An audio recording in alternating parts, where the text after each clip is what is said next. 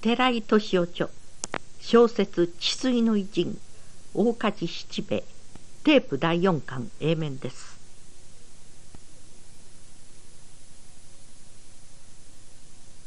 何もお上のために工事を起こしたものでもなく藩の財政立て直しのために川を開いたものでもありません。ただ貧しい農民を救うためでありました。そのことさえ達せられれば私は満足でございます。よう言うてくれた。梶七兵衛の名は藩の歴史に残ることはなくても出雲の人々はその名を語り続けるであろう。岸崎作治様からそのようなお言葉をいただくとは。そこまで言って七兵衛は岸崎の前に手をついた。涙が止めどなく流れてきた。その夜七兵衛は家族を集めて心ばかりの祝いの膳を持った。友貞は祝いの膳に手をつけようともせずこの度の不審の第一の功労者は父上にございます。しかるにその恩賞は布地一旦それに下氷並みの格付けとはあまりにも粗末な扱いです。聞くところによりますと本日お越しの朝日丹波様をはじめ役人の方は大層なご褒美とご昇進があったと聞きます。そのこと消せません。友貞は拳を固く握ったまま顔を真っ赤にしている。さらに新内藤側の釣り火をお受けになった森広様をはじめ大方父上の配下で働いた方々が父上より厚い恩賞を受けておられます。父上はお腹立ちないのでありますか？七兵衛は黙ってる。松が言った。友貞少し言葉が過ぎます。父上には父上のお考えがあります。やたらにお上を誹謗してはなりません。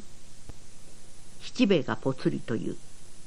祭りごとにあっては反発する者は可愛げがないというのか排除されるらしい。ただのわしらは農民のことだけを考えて余計なことは考えんがええ。父上のそのお考えがお上には不損に見えるのでしょう。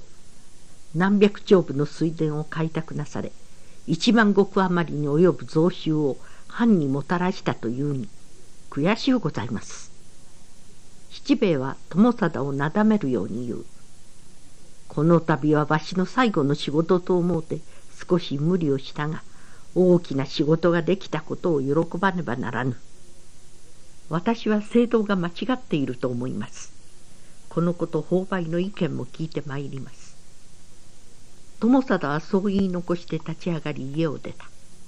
貞が才蔵を抱えて後を追った。父上に言葉が過ぎましょう。購買に相談するなら父上のお話を聞かれません。しかし友貞は闇の中に消えていった。友貞は気性が激しい。道を外さねばよいが。七兵衛は独り言のように言った。その夜七兵衛は遅くまで図面を引いていた。松が「まだ思案がありますか。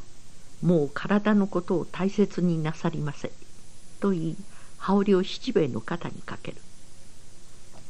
今日開通した焦るが池の大日はな砂の浸食が大きい。その上材が木だ。20年とは持たぬ。それでまた火を作られますか。七兵衛はうなずいた。この度朝日丹波様がご不況なのはわしが意地を張って船を突っ込んだからよ。挑戦と見えたのよ。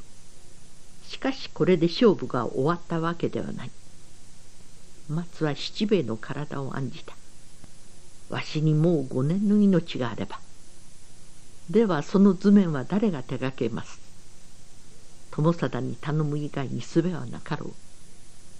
七兵衛はつぶやくように言う。松江藩の冷たい仕打ちに耐えてなお岩火の不審に取り組む七兵衛に松は胸が熱くなった。松は思う。七兵衛や友貞のように真正面から貧困と立ち向かっているものをまともに受け入れる祭りごとが行われるなら世の中はもっと明るくなるのにと。その夜から七兵衛の作図の作業が始まった。それは八尺の高低差のある檜川と高瀬川との間を荷物を積んだまま船を通す肛門を栗原の岩山に作るというもの。肛門とは高低差の大きい水面を船を昇降させる水門を言う。翻訳者中肛門の甲は門構えに甲乙兵の甲門は門構えの門。水面を一定にするための数量調節の席のことです。翻訳者中終わり。その構造はパナマ運河のそれである。しかしパナマ運河の完成は1914年。この時よりおよそ220年後のことである。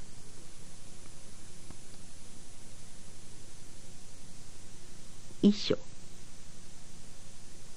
1関東奉行を更迭された日野新之丞は商工業推進派の家老柳田四郎兵衛の配下にいた。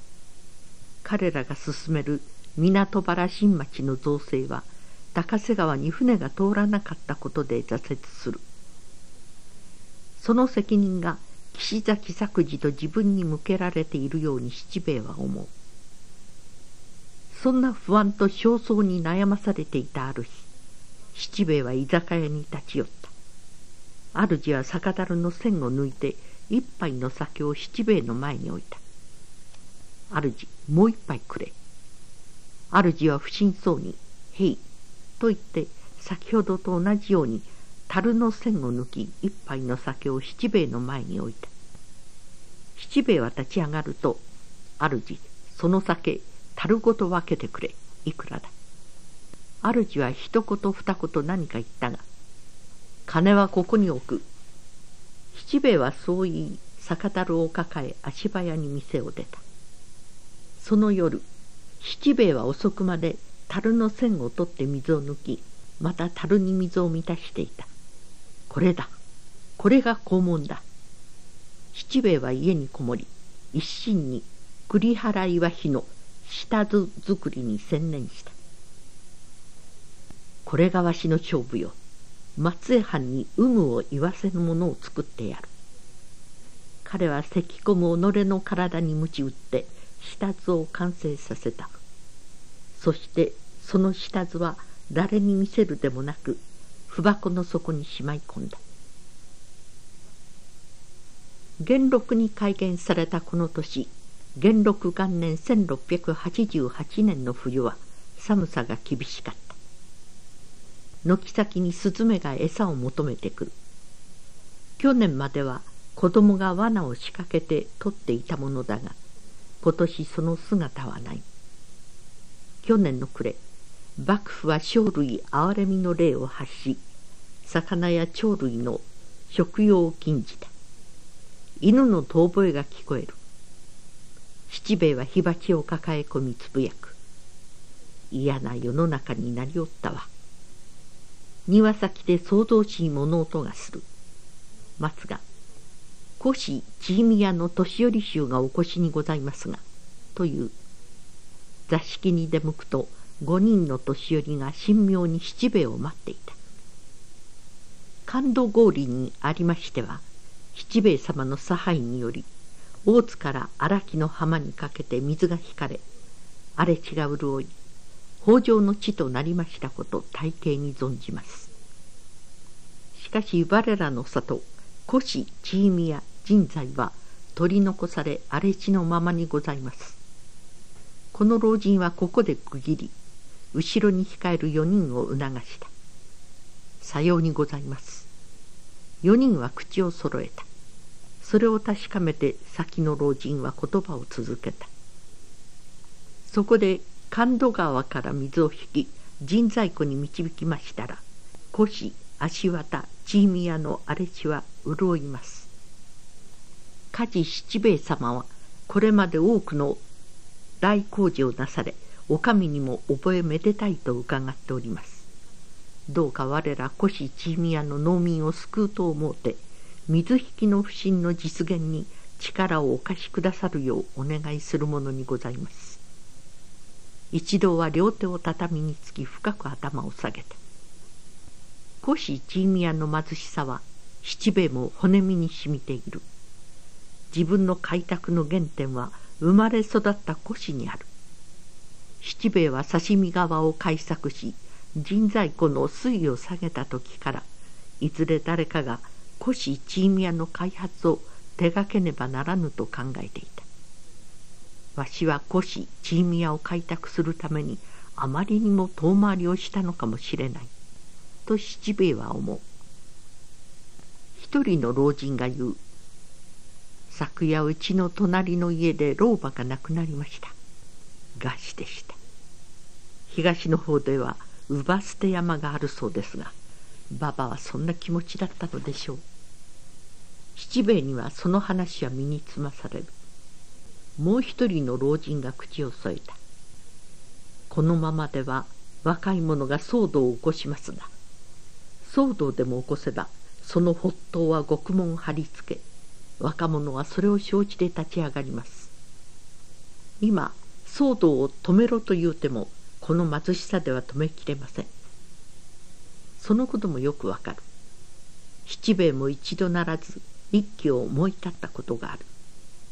父平左衛門は断腸の思いで十兵衛の放棄に加わらなかった。その時から父もそして自分も土地の干拓と開発に命を捧げている。いやそんな昔のことより今養子の友貞が不穏な動きをしているではないか。若者を無限に死なせてはならない。そんな思いが七兵衛の心を揺さぶる。さらに神殿開発を進める岸崎作治や自分たちへの松江藩の重苦しい重圧を感じる。それらを思うとムラムラと闘志が湧いてきた。しかし言葉は穏やかであった。水はどこから引きますか？神戸川から引き神在湖に注ぎます。七兵衛は目を閉じた。神戸川は水位が低くそれでは水は引けまい。いくつかの丘があり池や沼もある。さらに面倒なことはこの筋に人家が多い。23日考えさせてくだされ。七兵衛はそう言って年寄りたちを返した。翌日七兵衛は友貞と清吉を伴って神戸川に向かった。川岸に立つと西の方神在湖へ荒れ野が広がる。神戸川は日川と違って水位が低い。このままでは神在湖に水は流れない。少し神へ登ってみよう。七兵衛は腰から薪に向かった。薪も荒れ地が多いではないか。七兵衛は目を細めた。川は姉山の裾を西に曲がり急に渓谷に入る。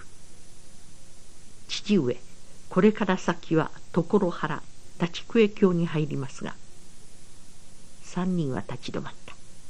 水を引くとするとここからだな。七兵衛は川岸に降り川に足を入れた。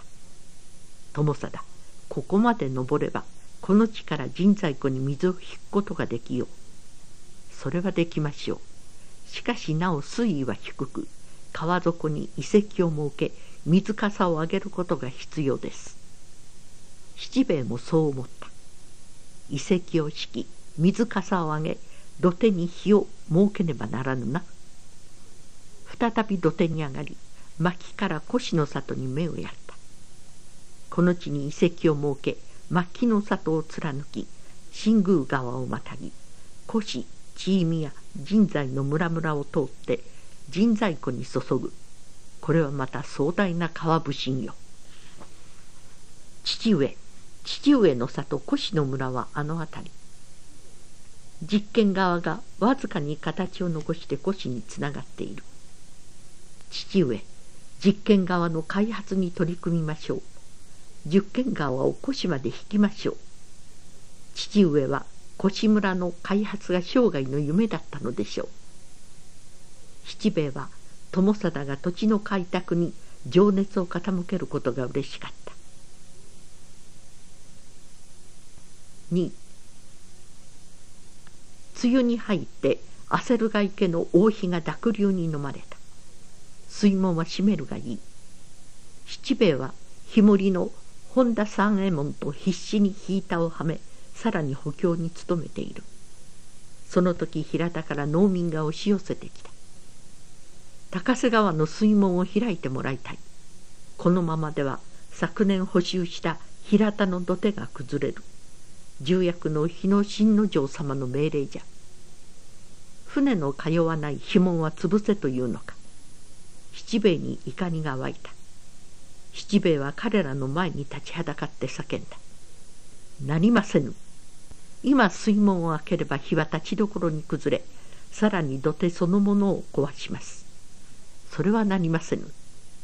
平田の農民は生きり立った。こうした時に水を抜き下流への水の調整をするのが高瀬川の役目と我らは聞いておる。水門を開けぬというのであれば我らは力ずくで開ける。おうおうと数名の者が水門に駆け寄る。七兵衛はとっさに川に飛び込み水門の柱にしがみついた。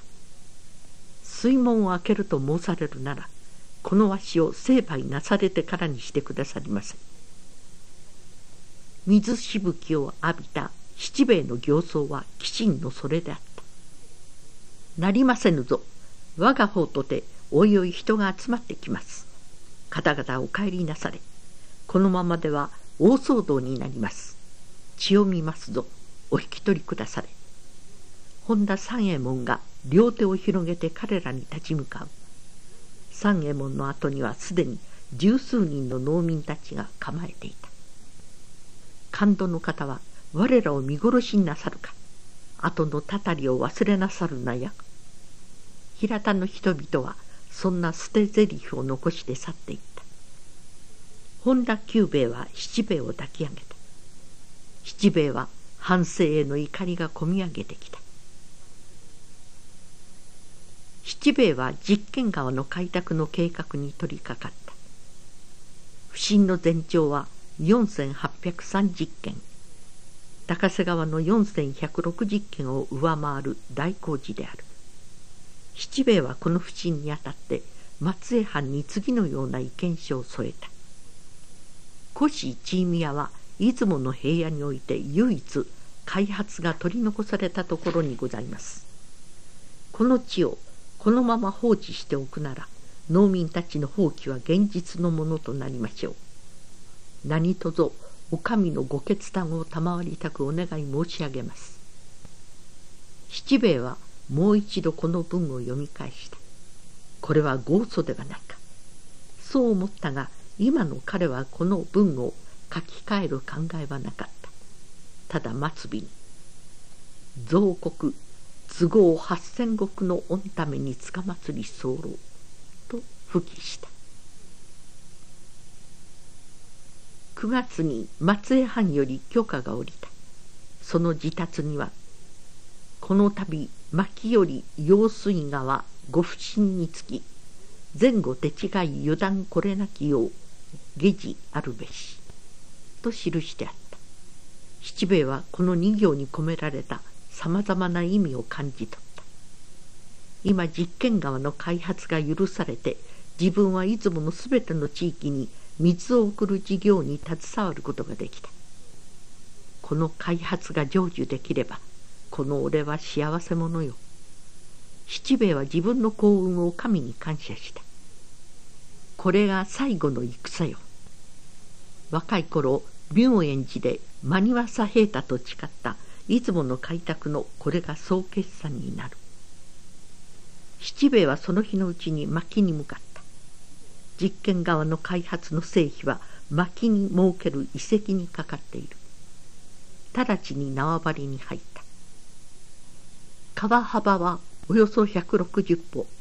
その間を2軒ごとに石を沈め石垣を作り石垣と石垣の間を材木で結び水をせき水かさを上げます。直接縄張りにあたる友貞が言う。それで水かさをいくら引き上げることができるか。七兵衛は図面を広げ矢立てを手に問う。約二尺を見積もっております。いずれは全体を石積みで作らねばなるまいがさようにございます。しかし工事を早めたいゆえ。友定めわしの年を気遣っておるわ。七兵衛は苦笑した。あれをご覧なさいませ。村の者が大勢やってきます。友貞が指す川下から20人余りの一団が近づいてきた。梶七兵衛様この度はお上から実験側の改作のお許しが出ましたそうでまことにもって梶七兵衛様のお骨折り一度心から感謝いたしております。この正月七兵衛の家に来た年寄りがいい一同の者が頭を下げた。ありがたく思うぞ。この度の不審はなお上の腰が重かったわ。しかしのうこうしてお前たちが喜んでくれる開発が本当の意味の開発よ。そうした事情があるでのお前たちの力を頼りにいたす。七兵衛はその年寄りに近づき肩をたたいた。これから七兵衛様の力になるのは若い者。その若い者も連れてきました。日に焼けた若者が前に出た。これからは我ら若い者がお役に立ちます。七兵衛様仕事始めの祝いと工事の無事を記念して一献傾けようとどぶろくを持参しました。七兵衛様受けてくださいまし。おういただくわや。皆と一緒にいただこうぞ。すでに日は陰り茜雲が空を覆っていた。七兵衛は言いようのない感激に襲われた。実験川の掘削の工事は古紙ジーミヤの人たちが中心になって進んだ。しかし工事はしばしば変更された。まず神戸川の遺跡の構築は材木を主体に計画したがこれでは洪水には耐えられません。全体を石積みに変えましょう。と友貞が言う。そのためには2倍も3倍もの資金と労力がいる。古紙チーミヤの人たちはそれを買って出た。この実験側不信の最大の難事は自社の移転であった。これは年寄り衆が解決した。年が明け元禄2年を迎えた。その正月七兵衛は松江藩が島根半島の中央を横断する佐田川を開削し宍道湖と日本海を結ぶ運河を築き日本海への海運を開き合わせて宍道湖の治水を図るという噂を聞いた。この噂を聞いた時七兵衛は松江藩がこの時期佐田川を開削なさるは高瀬川の海運を保護になさるのではあるまいかとそう思った。さらに物流の開発と宍道湖の治水に重きを置いている松江藩と高知の造成を第一義に考えている自分との間に冷たい隙間風を感じた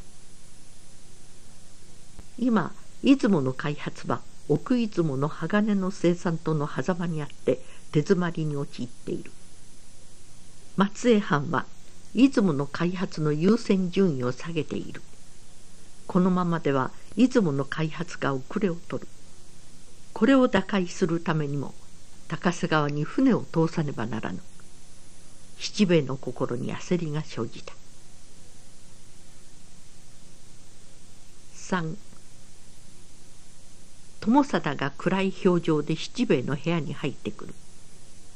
父上自社の移転に多大の費用を支出しましたゆえいかに工面しても工事を続ける賃米が足りませぬ。再度奉行へ要金の追加を申請してください。それは無駄なことだ。七兵衛は松江藩の冷たい態度を感じていた。この度の実験川の不審はこれ以上無理をせずにお前に引き継ぎたいのだがわしはその時期を誤ったようだ。七兵衛は自分が果たした功績が皮肉にも出雲の開発を孤立化させていると思う。水門を船が通っていたらつぶやくように七兵衛は言う。友貞は気弱になった七兵衛を見るのが何よりつらい。父の輝かしい開拓の生涯を全うさせてやりたい。そのためにはこの実験川の改作をどうしても完成させなくてはならない。彼は再度帳面をめくり不足の珍米を確かめた。どのように計算しても米150票が不足する。彼の頭に格下の思いがかすめる。直ちに彼は首を横に振る。滅相もないことをそのことがお上に知れたら打ち首獄門だ。友貞は首を振って否定する。しかしその思いは甘い麻薬のように友貞の脳裏を蝕む。さらにその麻薬は義という甘い液体に溶けて彼の体内を走る。義のためなら許されることもあるのではないか。取り締まる役人は何だ。自らは何一つ生産するでなくただ農民に加勢をし上前をはね天津祭商人や豪農から賄賂を着服している。友貞は昨年末期に遺跡を作り王妃を築いたことにより今年から稲の植え付けのできる水田があることを知っていた。その水田はお上に申告していない。その水田のうち三丁部ほど闇にしておけば約150票の米は浮かすことができる。彼はそのことを実行に移すことにした。元禄2年の梅雨は長かった。七兵衛は薪の現場近くに宿を取り不審の指揮に当たっていた。連日の雨で地盤が緩み方々で地滑りが起きている。松は不安に駆られて着替えと七兵衛が好む笹団子を携え血のつく雨の中を薪に向かった。薪の尾火が破れるでや。破れたら越の村は水浸しになる。今のうちに避難させねばならん。そう言いながら数人の農民が神戸川の土手を越に向かって走っていく。松が薪の遺跡に近づくと100人に及ぶ人々が走り回っていた。何事です？松が若い者に尋ねた。今川の中の遺跡を壊すか土手の火を壊すか揉めているところです。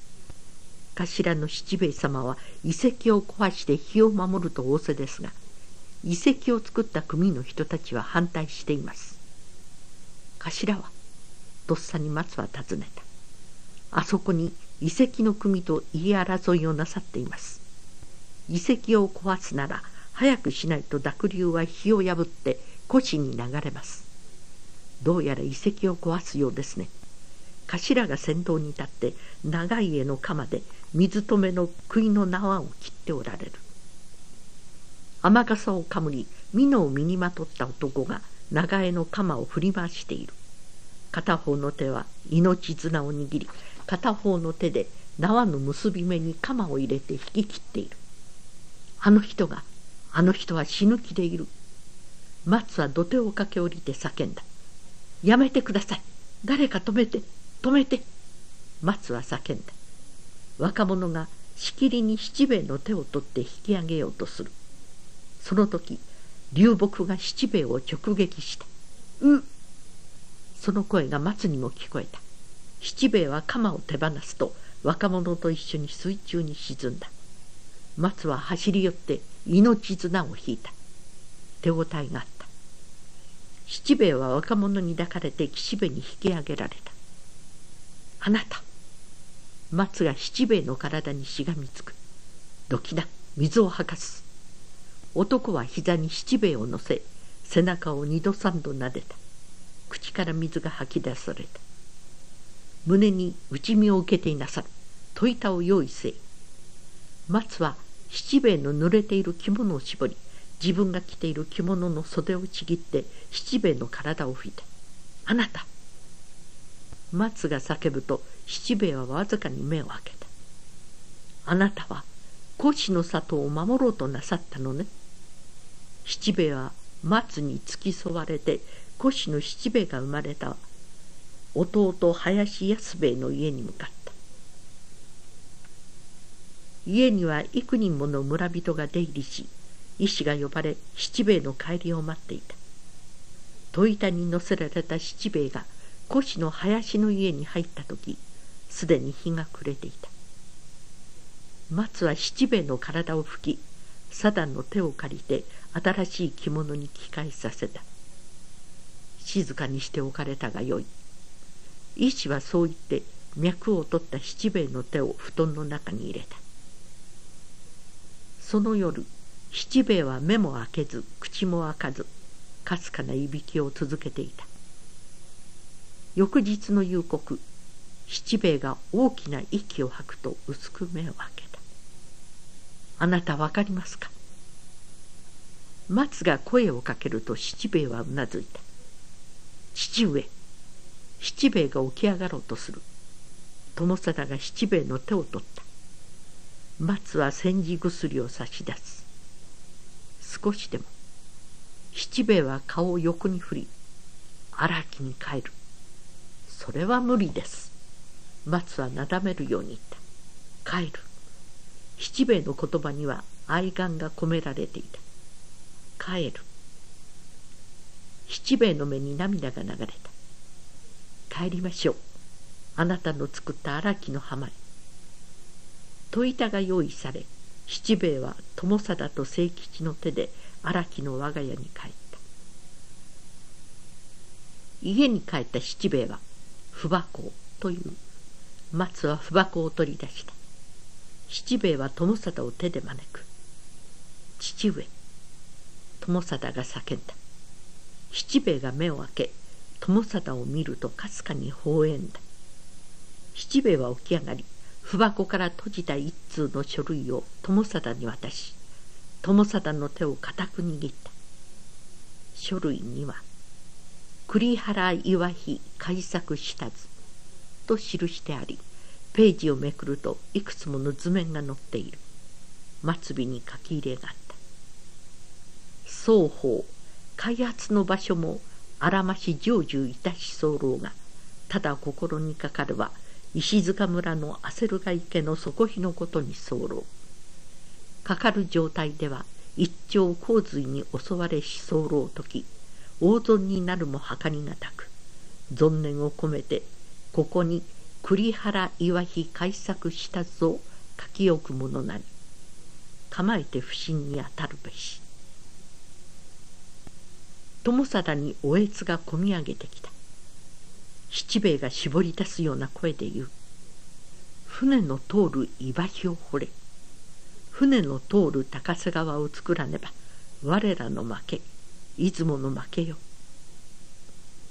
それまで言うと目を閉じた。この時友貞は松江藩と対峙している七兵衛の姿を見た。父上父上の心の中には十兵衛が生き続けていたのですね。父上にとって開発は藩との戦だったのですね。友貞が七兵衛を揺り動かしながら叫んだ。生きて岩碑を掘りましょう。松が体をさすりながら叫んだが息は次第に遠ざかっていった。梶七兵衛は元禄2年1689年5月25日家族に見守られながら息を引き取った。去年69歳。出雲の国の治水と考えと砂浜の開拓に尽くした生涯であった。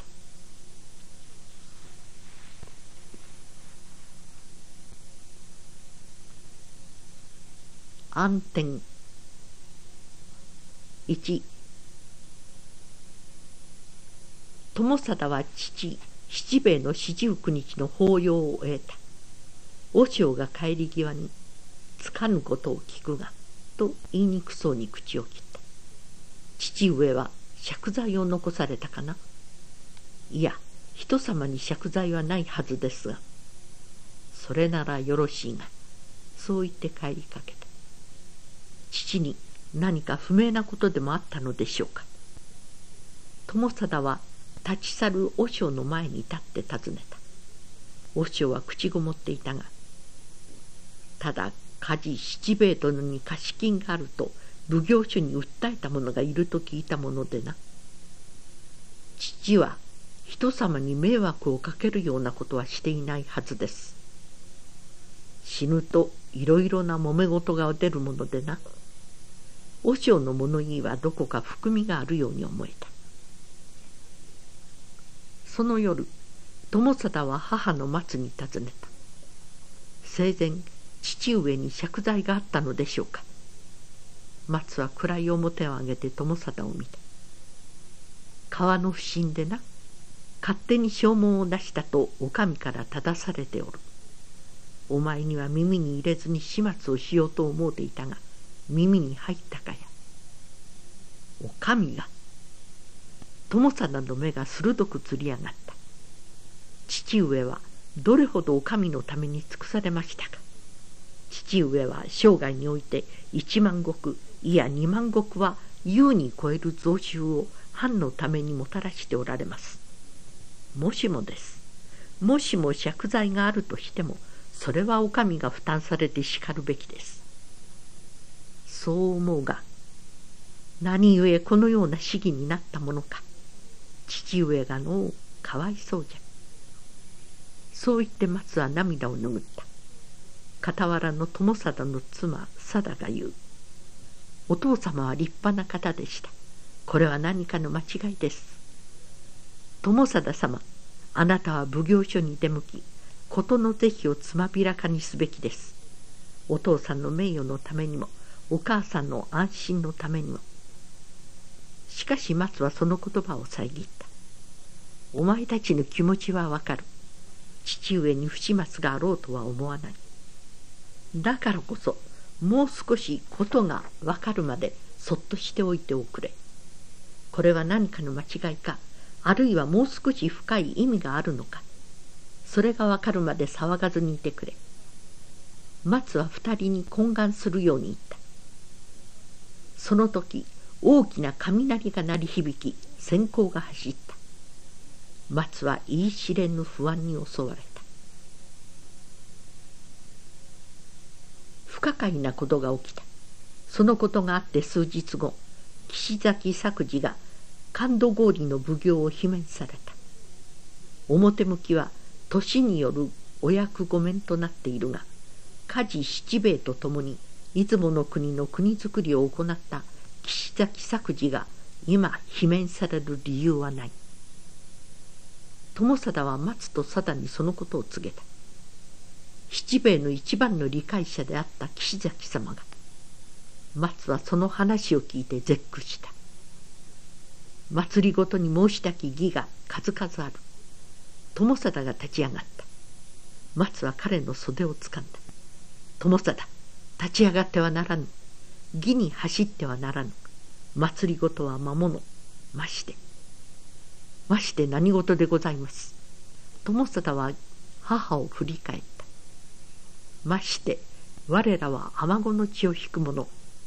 七兵衛の功が大きければ大きいほど。火事の名が高まれば高まるほど。よそ者の松平には目障りになるものよ。今少しおとなしくしていてくれ。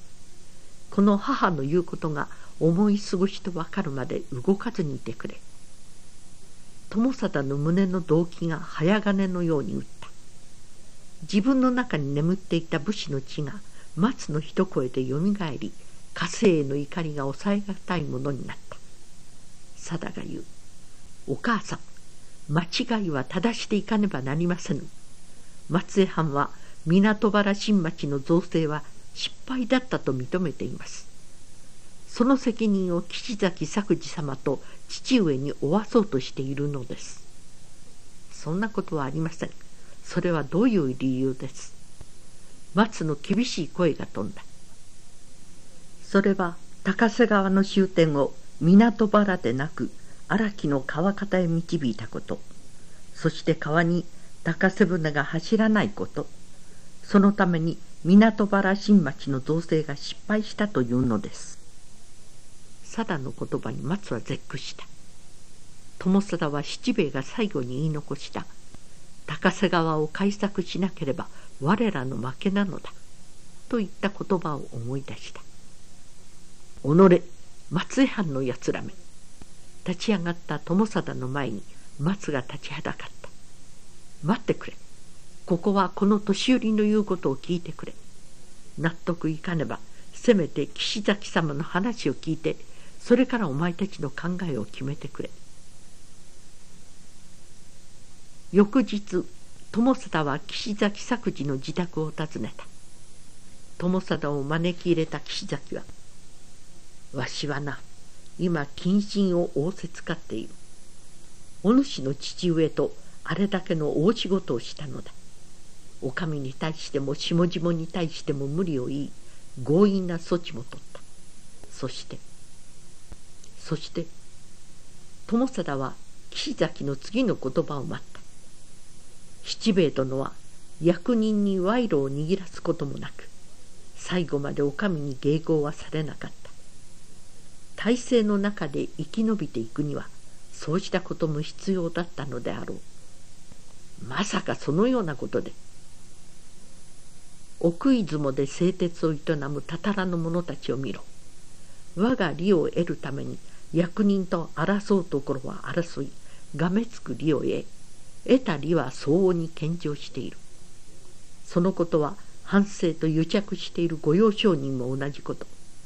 わしを含めて出雲の平野を開く者は木一本でありすぎたのよ。友貞は豪農と呼ばれている者もそうした生き方をしている者が多いように思う。松江藩と妥協しない開発を進めてきた父七兵衛のこれが総決算なのであろうか。岸崎作治の言葉が続く。そちの父上も不審を急ぐあまり勝手に手形を切り証文を出したはお上のご政道から見れば枠をはみ出したことになる。いや七兵衛殿を潰すよい口実を与えたことになる。あれは松江藩が資金を出さないために父が給与の一策として打った手。何も踏み倒そうとしたわけではありません。父七兵衛が亡くなりました以上この友貞が命に代えて工面いたします。そうであろうよう言うた。そなたも武士の流れを組む者。それでこそ家事七兵衛の跡取りよ。七兵衛殿の名誉にかけてそうしてくれ。このわしとて無念岸崎の声は高揚し声が上ずっていた。祭りごとには裏があるものよ。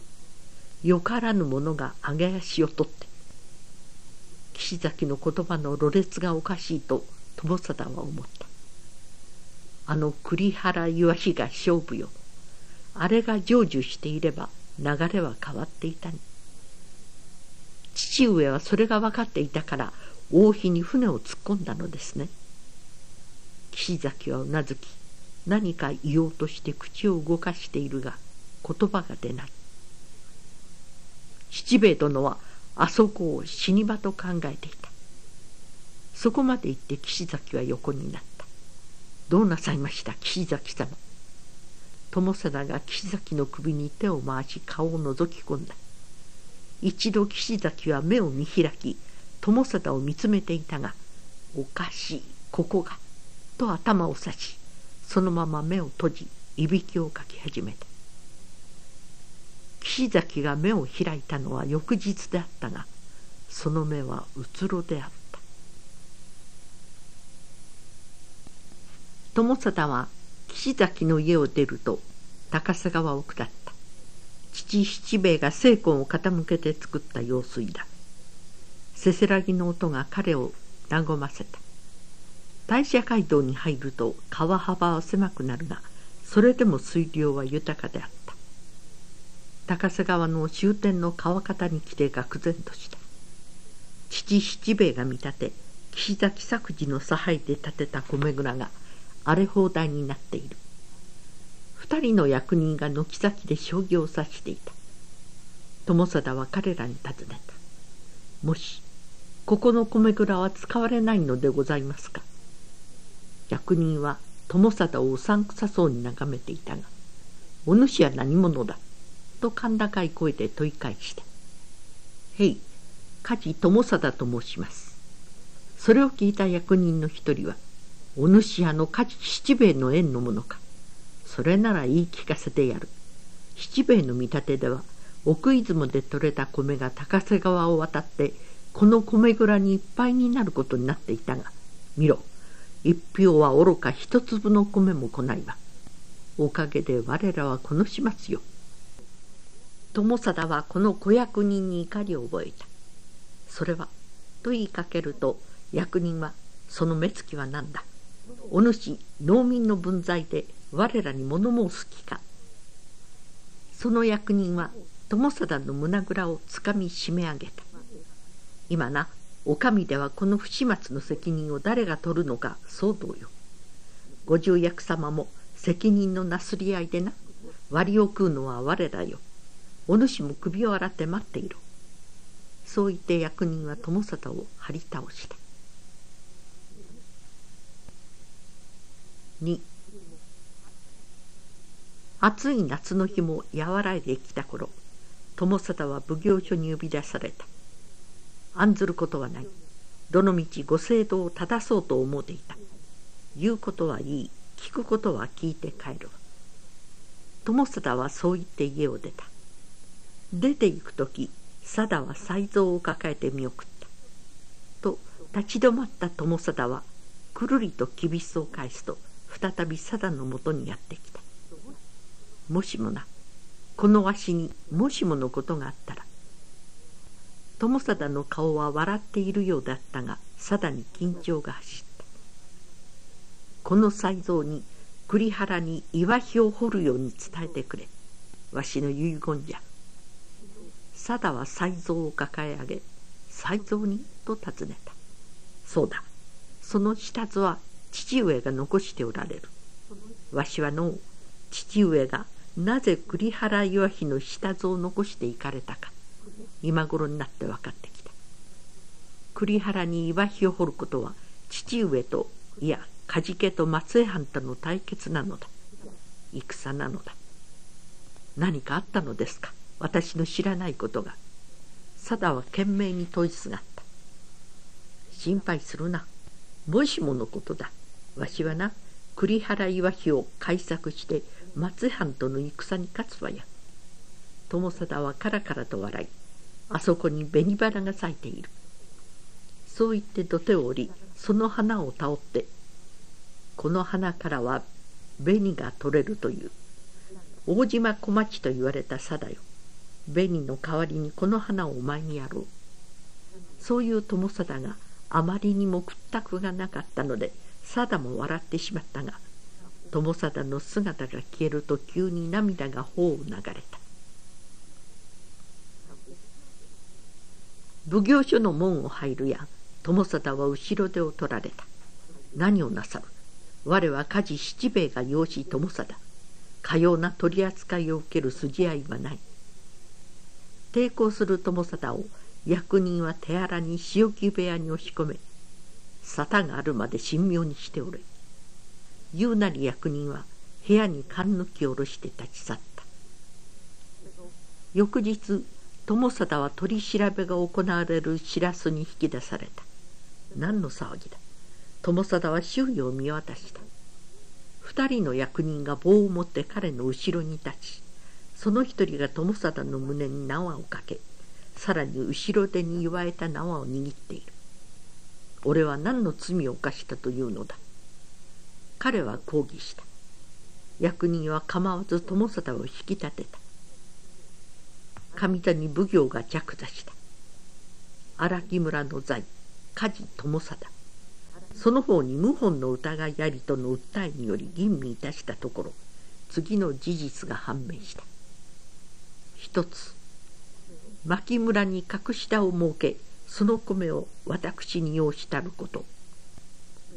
一つその方の父梶七兵衛がお上に無断で川節にかかる証文を発行したるにその証文は暗にお上の手打ちによるものと申し借財返済をお上の責任であるかのごとく吹聴いたしよること。一つ本年未完成ながら実験側の一部が開通し工作いたした水田の年貢をその方の一存で免除いたしたこと。一つそれら悪行を重ねながら徒党を組み謀反を企てる密議を行いたること。以上お上の意向を恐れない数々の所業本来なら獄門を申しつけられるべきところその方の父梶七兵衛の功により打ち首を申しつける。友貞は全身の血が凍る思いがした。何か言わねば友貞は高鳴る胸の動機を抑えカラカラに乾いた喉から絞り出すように言った。父の借財は私めにおいてお返しする所存にございますれば今一度ご吟味願わしゅうございます。黙れ。奉行の傍らにいた役人が声を荒げていった。その方の諸行村の将や年寄りから証言を得てすでに吟味は終わっている。引き立てそれがしは友貞はさらに言いかけたが役人は友貞に役棒を振り下ろし足毛にして引き立てた。その日は夜半から激しい嵐に襲われ遠くで反響の音が聞こえた。高瀬川が実験川が溢れているのではあるまいか。さだよどうしている？帰らぬ自分を待っているであろう。なぜこうなったのだ？わしはこれから父七兵衛の遺言を守って上栗原に岩碑を掘ろうと思っていたのにどこで何が狂ったのか。思いは次第に怨念に変わっていく。雨よ降れ嵐よ吹けヒーカーも洪水と化すがよい。あれよ。焦るが池の王妃も薪の遺跡も崩れるがよい。高瀬川も刺身川も真部川も実験川も泥水に埋もれるがよい。嵐よ何もかも洗い流しこの出雲の国を人のいない太古の世界に戻してくれ。友貞は嵐の中で一夜を過ごした。友貞はその翌日暴風の中でこの世を去った。元禄2年1689年9月25日。二代目梶十左衛門友貞は32歳の短い生涯を終えた。処刑は皮肉にも荒木の浜で密かに処せられたという。それは梶七兵衛の死から4か月のちのそれも正月命日の日であった。2日続いた暴風雨がやみ透き通る秋空が天を覆ったが友貞は家に帰ってこない。貞の胸を不吉の念が襲った。貞は庄屋を訪ね事の次第を告げた。翌日庄屋が貞を呼び出した。気を確かに聞いてくだされや。庄屋は貞から目を避けた。貞は事が尋常でないことを察した。何なりと申してくださりませこれは明らかにはされないがの友貞殿はすでに打ち首になされておる。どなたがでございますか？貞は血の引く思いがした。まさか夫の友貞ではあるまい。そう思って尋ねた。庄屋は力なくうなずいた。このことは公にはされない。あの大きな功績のあった梶七兵衛殿の跡取りのことゆえ公にしては騒動が起こりかねないとな。不良の病で亡くなったことにしてくれ。不憫だがそうした方がええ。今騒ぎは起こさん方がええ。言葉を区切りながら庄屋は言う。目の前が真っ暗になった。体が大地に埋没する思いであった。貞はそれに耐えていた。それは何故にございますか？友貞がどんな間違いをいたしたというのでしょう。お聞かせくださいまし。庄屋は貞を正面に見据えていた。お上に逆ろうても益することは何もない。ここは静かに耐えることだ。陥れた者は敵は誰でしょう？貞は涙を抑えていた。何事もなかったように済ますのだ。貞さんあんたにはそれができる。貞は肩を震わせて泣き崩れた。しばらくして貞は涙を拭った。分かりました。何かの間違いであったにせよ。友貞が亡くなったことが事実なら私たち親子は梶七兵衛の一族としてこれから立派に生きていくことを誓いましょう。そうして初代梶七兵衛友康二代梶忠左衛門友貞の生き様を世に訴えていきましょう。そして友貞を死に追い詰めたのは私ですから。貞はその場に伏して再び同国した。貞は悔いていた。母松が言うようにお上に火を正すようなことを友貞にしなければよかった。しかしと貞は思う。父と我が夫を死に追いやったものは何であるのか。父の七兵衛は地産と血寸に尽くして命を捨て夫の友貞は祭りごとの貧困から命を奪われた。それらの根底にあるのは農民の貧しさにあるのではないか。私は負けてはならぬ。貞は最後に友貞が言い残した言葉を反芻した。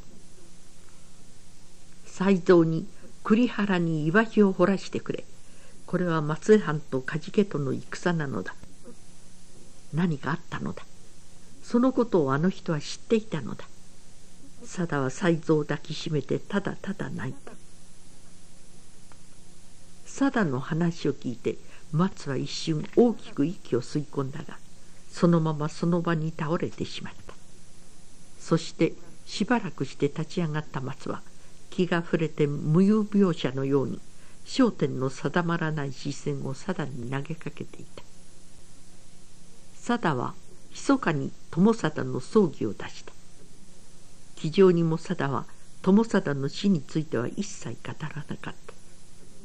梶十左衛門友貞。去年32歳。その時後に三代目梶十左衛門友則を名乗る若男の才蔵は数え年で6歳。他に姉のおはんに弟の亀之助がいた。3四十九日の法要を終えた貞は才蔵を位牌の前に座らせていった。才蔵お前はこの家の主じゃ。梶家にとって今はどのような時期であるかよく心得ておくがよい。お前のじい様は荒木の浜に八通りの松林を作られた。そして高瀬川真部川刺身川十軒川を開削なされ工事の最中に亡くなられた。父上はおじい様の仕事の後始末でご苦労が重なって病で亡くなられた。お前はおじい様と父上の志を継いで出雲の里をより良い里にしなくてはなりません。父上は病で亡くなられたのではありません。私は父上が罰せられたことを知っています。私は父上を罰したお上を憎んでおります。いつか敵を討ちたいと思うています。才蔵貞はこみ上げる涙を抑えていた。それは両県が違う。おじい様も父上も農民の暮らしが少しでも良くなるためを思うて努力なされた。その志を継ぐならお前も農民の暮らしが良くなるために尽くす人にならねばなりませぬ。それでは父上の恨みが晴らせませぬ。貞は才蔵の手を取った。お前はまだ幼い。もう少し大きくなってから言って聞かせようと思っていたがこの母の考えていることを今言うておこう。貞は才蔵と面と向かった。才蔵お前が父の敵を討ったなら世間の人は才蔵は非常でやったことと言うであろう。それでは父上の意志を無にすることになる。ここのところをよう聞き分けてくれや。お前が市場にとらわれずじい様や父上の偉業を引き継いでいけば家事の者は人々から理解されよう。そこで父上の御心も休まるというもの。これからのお前は父上の志を継いで立派に生きていくことを考えねばなりません。このことをよう心に刻んでおいておくれ。貞の涙が二人の結ばれた手の上に落ちた。分かってくれるな。才蔵がうなずき二人の手に力が入った。よう分かってくれた。さあおじい様と父上に手を合わせて今のことをご報告しましょう。貞は豆苗を上げ才蔵を仏壇の前に進めた。幼い才蔵にどれほどのことが理解できたかそれはわからない。ただ貞は才蔵を怨念の世界から引き出して広い世間を歩ませねばならぬと思った。貞は仏前で手を合わせている才蔵の後ろでこみ上げるおえつをこらえこの子のために強く生きることを誓った。その日から数日が経っていた。奉行所の小物が貞のもとに来た。神殿奉行の土屋陽右衛門様が大社参拝の帰りに本陣に立ち寄っておられます。御家様にお話があるのでお連れせよと申されて。貞はその小物の言い草に嫌味を覚えた。何をでしょう？と尋ねる貞に小物はとにかくお越しいただいた上でという。貞は小繕いをして家を出た。家を出る時松が焦点の定まらない目を貞に向けていた。お母さん大丈夫です。松は貞に向かって手を合わせていた。本陣に入ると待合の部屋に回された。しばらくして土屋陽右衛門が入ってきた。酒の匂いがした。よう来られた。食前が運ばれた。お話を承ります。貞が言うと土屋は話は後じゃ。御家殿も寂しいであろう。今日は血と地層をしてお慰めしようと思うてな。傍らにいる酌婦の杯を受けながら「御家殿はきれいじゃのう」婿殿が亡くなられてますますきれいになられた。まあいっぱい酌をしてくれ。酌婦がさらに調子を渡した。お話を聞きとうございます。話は後でと申しておる。それ一杯ついてくれ。貞が調子を差し出すと土屋はその手をぐいとつかんだ。生娘ではあるまい。魚心あれば水心よ。土屋の手が二の腕まで伸びた。貞はその手を払いのけるとお話は承らなくて結構でございます。貞は座を立って玄関に出た。先の小物が前に立ちはだかったが貞は小物の脇を抜けて外に出た。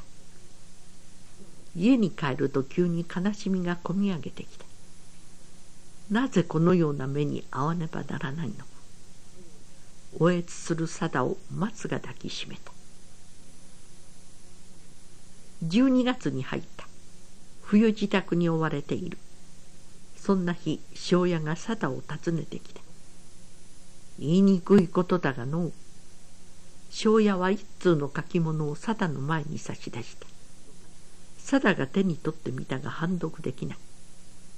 どのような沙汰でありましょう。貞は書き物を庄屋に差し戻して尋ねた。庄屋は口ごもっていたがつまり梶家に与えられていた御免屋敷と下郡並みの役席を全て取り上げるということですが貞は心臓の止まる思いがした。土屋との一件があってある種の覚悟はしていたがなぜそこまで？貞はとっさに尋ねた。わしら年寄りに力がなくて庄屋は言う言葉もなくただ首をうなだれていた。後のことはご親戚衆の寄り合いで決められよとのこと。何と言われました。親戚のもので決めよと。我が家にはれっきとした跡取りがおります。才蔵という跡継ぎがおります。何故ご親戚衆の差配を受けねばなりませぬか。お聞かせくださいまし。貞は取りすがらんばかりに庄屋に詰め寄った。それがわしにもようわからんのじゃ。奉行からそのようなお達しで。貞が正してもそれ以上のことはわからなかった。数日経って梶家で親族会議が開かれた。貞は言った。お集まりの方々この寄り合いは何でございます？この梶家には僧侶の才蔵がいます。それを差し置いての談合は筋が通りません。お引き取りください。血相を変えて詰め寄る貞に七兵衛の弟の安兵衛が言った。わしらとて事の次第がわからんのだ。わしばかりではない。ここにいる者は皆そうなのだ。わしらは貞さんが事の次第はご存知と思うて集まったに。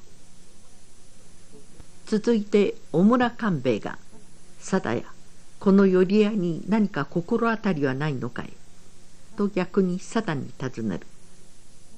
そしてそれよりのすでにこの談合の落ち着くところは決めてあるじゃ。それは何でございます？聞かせてもらいましょう。貞は自分があり地獄に落ちたアリのように思えた。第一はの梶家の一切の道具家財を売り払ってお上の借財に当てようと。貞は言う言葉を失った。その第二は浜村茅原村大島村千宮沖村にある駐在門が持ち分の田畑三丁五反八世六部を親族連合の管理にせよとその一筆ごとの明細はここに記してある。これこのように右は駐在門分村々田畑坪付格のごとくにござ候とな。貞の目は中央待った。まずその仕打ちに驚いた。さらにその内容に気を失い我が耳を疑った。何故でございます？父梶七兵衛が資材を投げ打って出雲の国の開拓に尽くされたことはご親戚の方もご存知のはず。この仕打ちは何事でございます？貞は突きつけられた書き物を畳に叩きつけて叫んだ。小村官兵衛が尋ねるように言う。この始末はわしらにもようわからん。何かお上と梶家との間に争いでもあったのではないか。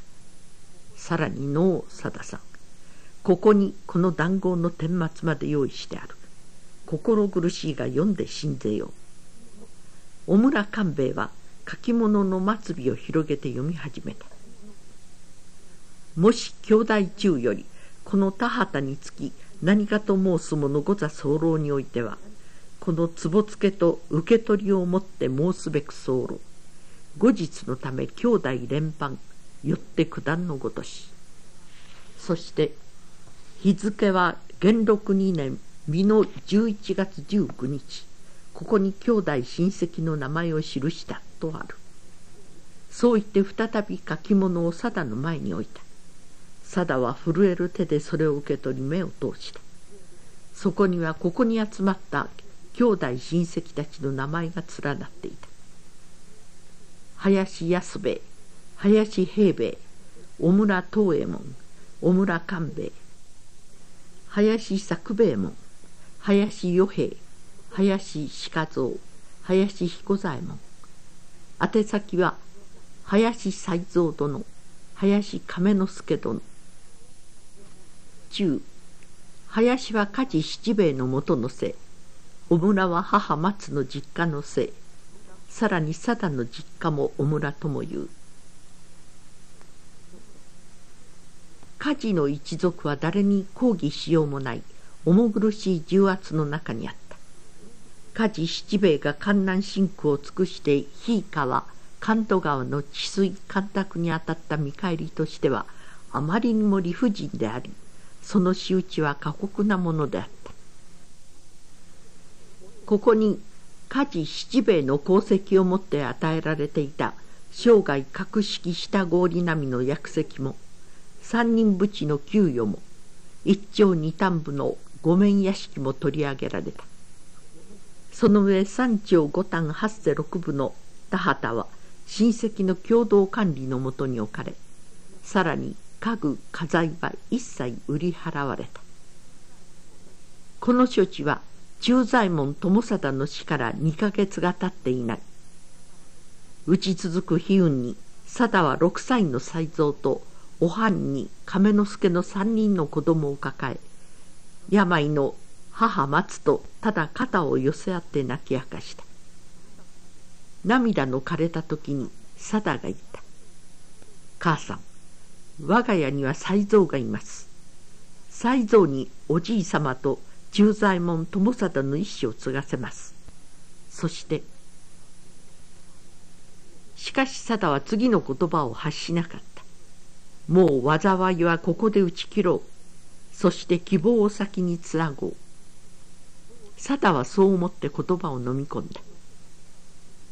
年の瀬の押し迫った日貞は松の手を取り三人の子供を連れて七兵衛の里越の東屋に引き移った。元禄三年の正月25日家事七兵衛の最大の理解者であった岸崎作治が亡くなった。くしくもこの日も家事七兵衛二代目忠左衛門友貞の正月命日の日であった。岸崎作治様が亡くなられるとお上で信用できる方は亡くなったわ。貞は岸崎作治の延べの送りを済ませて高瀬川の土手を歩く。川手は人々が米を研ぎ野菜を洗っていた。これでよいのだが貞は今世間の冷たい風を肌に感じている。この川の改作に父と夫はどれほど苦労したものか。この人たちに語りかけてやりたかった。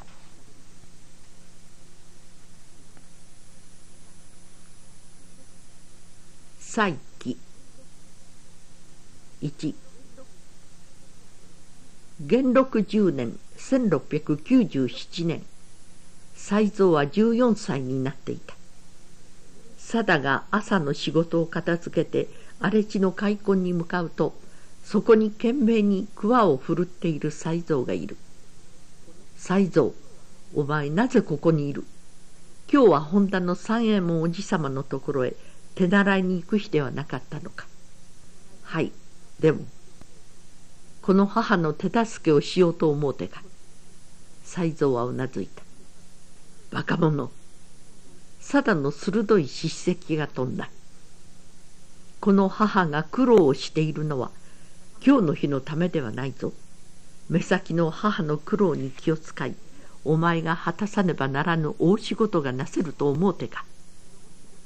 でも母上はろくに食べ物も食べずに朝早くから夜遅くまで働いておる。わしら兄弟のために。貞はつかつかと才蔵のもとに行き才蔵が手にしている桑を取り上げた。浅間市やそのような了見でおじい様や父上の意志が告げるか。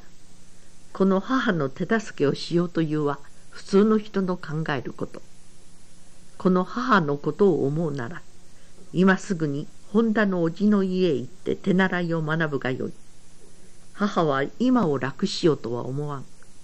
母への孝行は梶家の名誉が取り戻せた時よ。早く行け。貞は桑を手にすると才蔵に背を向けてその桑を打ち下ろした。焦るが池の碑文まで来ると川の中に本田三右衛門がいた。才蔵ここに降りてこい。才蔵は三右衛門に倣って川に入った。見ろ引いたは痛むし土砂はたまる。この焦るが池の日は長くは持たぬ。なぜこのように土砂がたまるのです？それはの。このヒーカーの上流で砂鉄を取っていての。そのために土砂が流れる。三右衛門は桑で土砂をすくい上げながら言う。奥出雲のたたら製鉄で天秤吹き砲が開発されたのは元禄4年のこと。この開発によって鉄の生産が飛躍的に伸びたがこのことによってさらに大量の土砂が流れ下流の農民との争いが激しくなっていた。ところで才蔵お前いくつになるや？はい。14歳になります。14歳か。早いといえば早いが母上にしてみれば長い年月であった。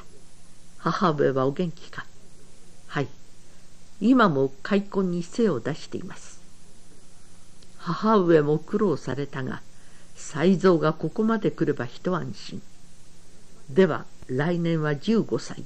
元服せねばならぬな。名前はこの叔父がつけてやる。それから大仕事にかかる。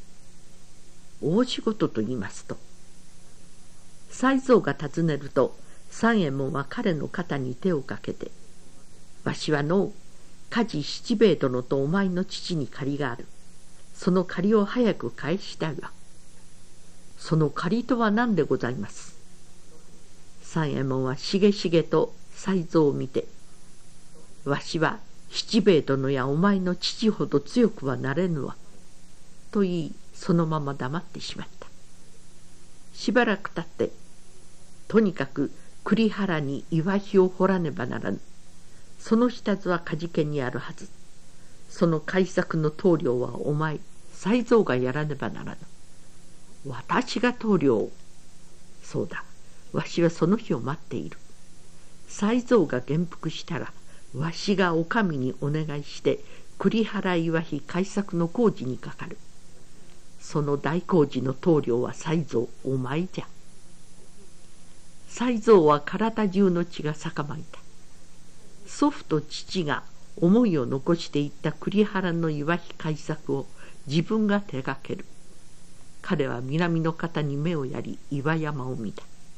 こんもりとした岩山である。あの岩山をくり抜くのですね。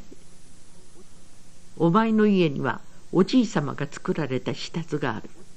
それを再造お前が完成させ梶家の名誉を取り戻すのだ。三右衛門は才蔵の肩を大きく叩いた。才蔵ならできる。いやそれをしなくてはならぬ。かすかに記憶に残る父友貞が急に身近に感じられた。その晩才蔵は今日の出来事を貞に話した。そうかい。三右衛門おじさんがそう言うてくだされたか。ありがたいのう。早速おじい様や父上に報告しましょう。みんな仏壇の前にお集まり。今日は良い話を父上に申し上げられますよ。この一家で明るい話ができるのは何年ぶりのこと貞は松の耳に口を近づけて大きな声で言った「お母さん本田のおじさんがおじい様の遺言の栗原岩碑の改作をお上に願い出られるそうですよ。才蔵が元服したら工事も始められるそうです。通じたのであろう。松は両手で顔を覆い、覆った手から涙がこぼれた。その夜、貞は才蔵を呼んだ。今日は本田のおじさまからいいお話を聞きました。そのことはすでにおじい様にも父上にもご報告しました貞は仏壇から符箱を取り出しここにおじい様が書き残された栗原岩碑の下図があります今日この下図をそなたに渡しましょう。この下図はおじい様が死に際まで精魂を込めて書き上げられたもの。大切に扱いなさい。そう言って貞は一とじの書き物を才蔵に渡した。才蔵はその書き物を手に取り丁寧に目を通していたがその中の一つの図面に才蔵の目が釘付けになった。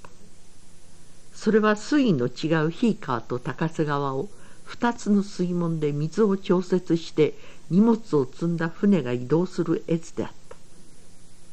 あの山をくり抜いて船を八尺も上げ下ろしできるものでしょうか。そなたはそれをやるのです。これを作って初めて松江藩と渡り合えるのです。そしておじい様と父上の霊は休まるのです。その夜才蔵は明け方までその下津に引きつけられていた。元禄11年梶家に明るい正月が訪れた。正月の25日七兵衛友康と忠左衛門友貞の正月命日の日才蔵の元服が行われた。雪の積もった実験川の土手を本田三右衛門は祝いだるを小脇に抱えそそとして才蔵の家に向かった。才蔵の家に上がると真っ先に仏壇の前に座った。友貞や長かったのを才蔵が一人前になったぞ。貞さんはここまでよう頑張ったわ。わしがお前にできることはこれくらいのこと許してくれ。振り返ると才蔵が羽織に袴で正座している。貞がこの日のために仕立てたものである。おお立派じゃ。前髪にそりを当ててやろう。三右衛門は才蔵の前髪を切り落とした。これで一人前の男よ。父上に挨拶するがええ。才蔵は位牌に手を合わせたがまぶたには栗原の岩山が浮かぶ。才蔵に名前を用意した。三右衛門は懐から一枚の紙を取り出し前に広げた。忠左衛門友則いかがじゃな。三右衛門の顔には満面の笑みがこぼれていた。父上の名前と一字しか違っていませんが才蔵が真っ先に尋ねた。そうじゃよう気がついた。おじいさんは友康父上は友貞。そして三代が友則よ。友則の友は朝。則は規則の則。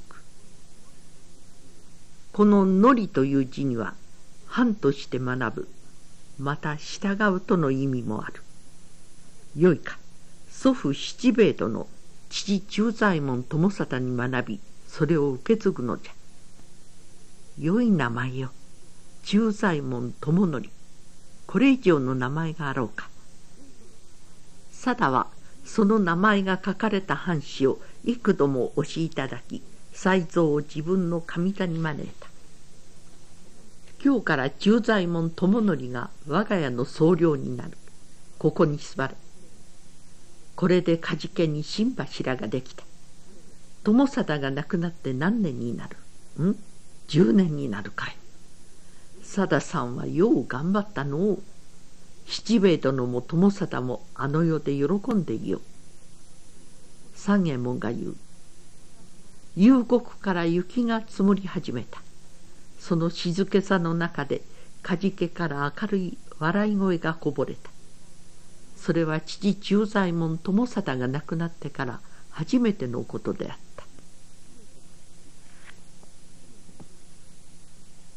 2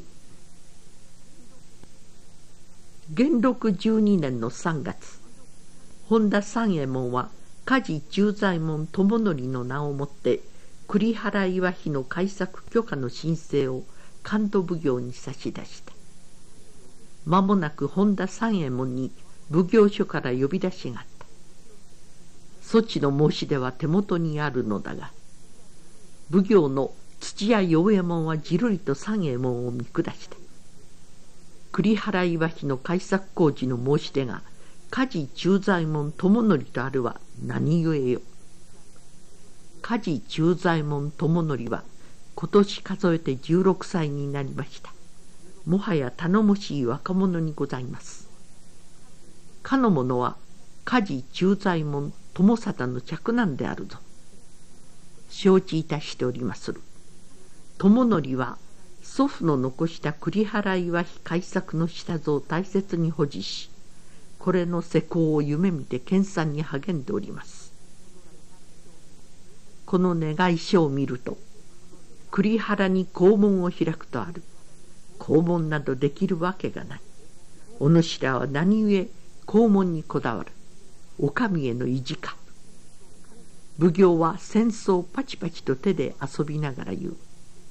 滅相もございません。ただ家事七兵衛が残した下図にそのようにございますゆえ三右衛門は両手を畳につき頭を下げて肛門を掘ることはならぬ水だけを通す水門といたせそれならご重役に取り次ごう。土屋の声は高圧的であった。これでは納得しないであろう。友則と佐田の顔が脳裏を走った。しかし三右衛門は伏したまま言った「よろしゅうございます。ただ家事忠左衛門友則を棟梁といたしたく存じます」そこまで言うのが精一杯であった。そのようなことはわしの存ぜぬことだ。土屋はそう言い捨てて座を立った。その夜梶家で三右衛門から報告があった。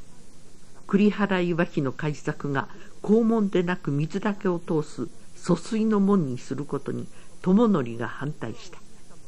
それではおじい様の遺言を果たすことにはなりません父上の意志にも反します。梶家の者は高瀬舟を通すことが使命です。それは友則の言う通りなのだが。と三右衛門は口ごもる。お母様はこのために苦労を重ねてこられました。船の通らない水門など梶家にとっては意味がありません。亀之助までが言う。これらの話を聞きながら佐田も一挙に高瀬舟を通す肛門を作って奉行の土屋陽右衛門に突きつけたい衝動に駆られる。しかし初代七兵衛二代友貞といずれも事を急いだことが梶家の今日の没落があるように思う。そしてまだ時が必要なのだとも考えた。胸の高鳴りを抑えて貞は言った。三右衛門おじ様が奉行所で掛け合っていただいたことに感謝いたさねばなりませんことは一歩一歩進めることが大切です。おじい様があれほど夢見ておられた栗原の岩山に洞窟を開くのです。この度は肛門を開く一歩です。喜んでこの仕事を引き受けましょう。その言葉に惹かれるように三右衛門が言った。水門は七兵衛殿の下図をもとに掘ればいい。時が来ればいつでも肛門に切り替えるようにいたしておけばよい。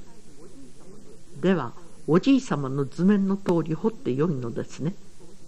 よいともどのみち船の通る肛門を掘ることになるのだから。三右衛門の言葉に友則は納得した。本田は改めて栗原岩木改作の許可を申し出た。許可が下りたのは翌年の正月であった。許可を得た本田三右衛門は友則の家に急いだ。栗原岩木の改作のお許しが出た。そのことは喜ばしいことなのだが本田は座敷に上がるなり言った。この施工に金50両と狭い100石とある。これだけの予算でこの工事ができようぞ。本田は頭を抱えた。貞が言う。改作のお許しが出梶家の名誉回復の機会が与えられただけで十分です。我らは命に変えて洞窟を掘らねばなりません。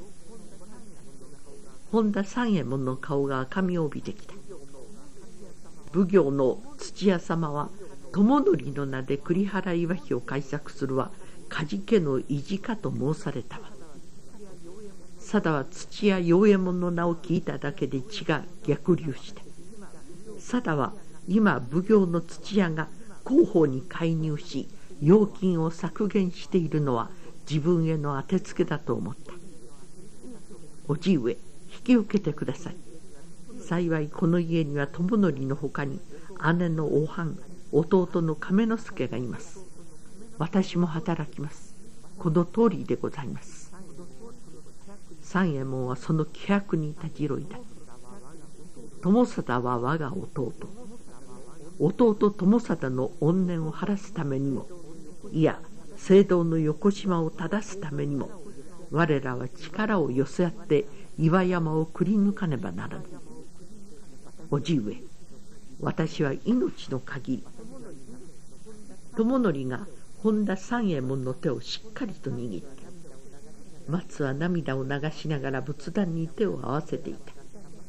背の曲がった松の肩が小刻みに震えていた。友則は栗原岩碑改作に着手した。七兵衛が作った下図には着手までの段取りも丁寧に記されている。掘削に使う道具から測量に使うケーキまたその使用方法などおじい様は未熟な私が施工するのを予測しておられたのでしょうか。友野には三右衛門にそうであろう。七兵衛様は焦るが池の碑文は20年しか持たんと申されていた。今年で11年になる。お前の年を頭に入れて下図を作られたのかもしれんな。三右衛門は七兵衛が晩年取りつかれたように栗原岩碑の作図に没頭していたことを思い出していた。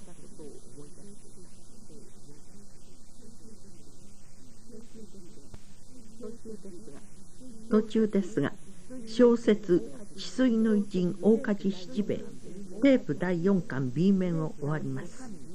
第5巻に続きます。